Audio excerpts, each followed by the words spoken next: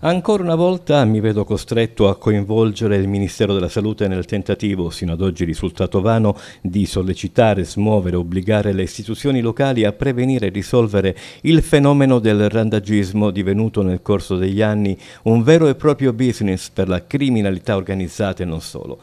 Durante il periodo estivo sono innumerevoli le segnalazioni e le richieste di intervento che le associazioni animaliste ricevono, cuccioli abbandonati, animali incidentati, cani smarriti o più semplicemente cani vaganti per le vie del centro.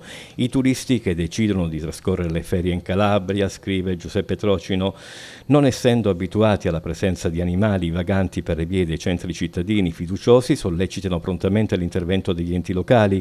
Ben presto si accorgono che qualcosa non funziona e in inorriditi da cotanta indifferenza istituzionale, si rivolgono ai volontari del posto. Impossibile per le associazioni locali farsi carico di un problema più grande di loro. Rincorrere le quotidiane emergenze è snervante e finisce per esaurire le forze fisiche ed economiche di chi dimostra sul campo e concretamente di avere una sensibilità superiore a quella che contraddistingue i diversi rappresentanti istituzionali.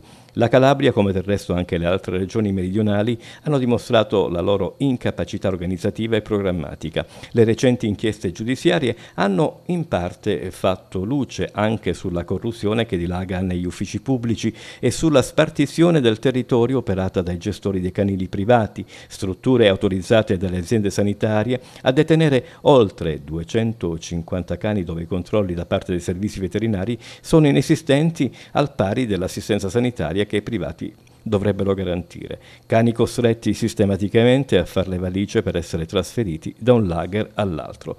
In tutto questo i servizi veterinari, fatte le dovute eccezioni, latitano dimostrando che lo stereotipo del dipendente pubblico italiano, e non è una leggenda metropolitana, né un mito da sfatare, una illegalità disarmante ma inaccettabile.